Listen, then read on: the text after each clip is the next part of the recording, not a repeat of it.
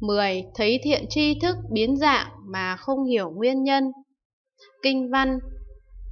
Hiệu dĩ thử tâm, nghiên cứu tinh cực, kiến thiện tri thức, hình thể biến di, thiểu tuyển vô đoan, trùng trùng thiên cải, thử danh tả tâm, hàm thọ ly mị hoặc tao thiên ma, nhập kỳ tâm phúc, vô đoan thuyết pháp, thông đạt diệu nghĩa, phi vi thánh chứng, bất tác thánh tâm, ma sự tiêu yết, nhược tác thánh giải, tức thọ quần tà. Việt dịch lại đem tâm ấy chiếu xét tinh dòng, thấy hình thể của các vị thiện tri thức bị biến dạng, chỉ trong chốc lát thân họ biến thành nhiều dạng khác nhau mà không biết vì cớ gì. Đó gọi là tà tâm bị loài lị mị hay bị thiên ma nhập vào vô cớ thuyết pháp rất thông suốt diệu lý chứ không phải là chứng thánh nếu không nghĩ mình chứng thánh thì các ma sự liền tiêu mất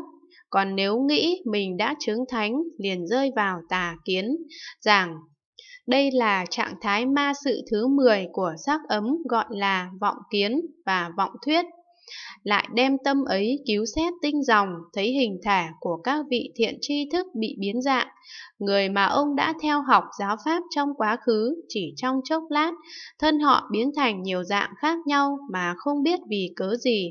Vị thiện tri thức ấy biến đổi hình dạng ngay trước mặt ông, chợt biến thành một ông lão, lát sau vị ấy biến thành một người trung niên, lát sau nữa vị ấy biến thành một người thiếu niên. Còn nếu thiện tri thức vốn là người nam biến thành người nữ, ông sẽ nghĩ rằng, ồ người thiện tri thức của ta đời trước là một người phụ nữ. Thực ra những gì ông thấy đều không có thực, những sự biến đổi này là kết quả từ vọng tưởng của ông. Chỉ trong chốc lát nhiều sự biến chuyển xảy ra mà không giải thích được. Mọi việc đều biến đổi và trở nên khác với bình thường.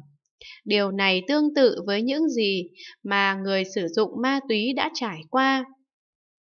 Đối với họ, mọi vật trở nên có màu sắc sáng chói, họ không thể nhìn rõ các vật thể ấy, họ vẽ lên những bức tranh kỳ quái không ai hiểu nổi,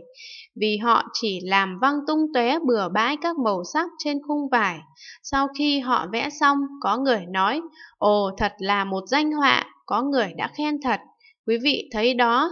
đó là một loại